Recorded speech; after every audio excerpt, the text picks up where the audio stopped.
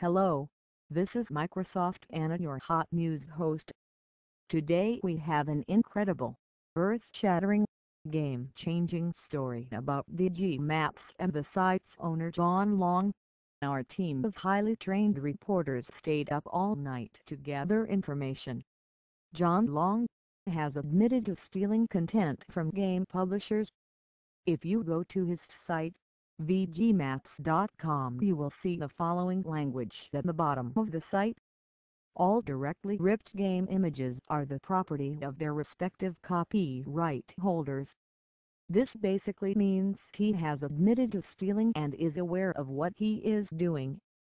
He appears to just be hoping that he gets away with it and that a copyright holder doesn't sue him. Great.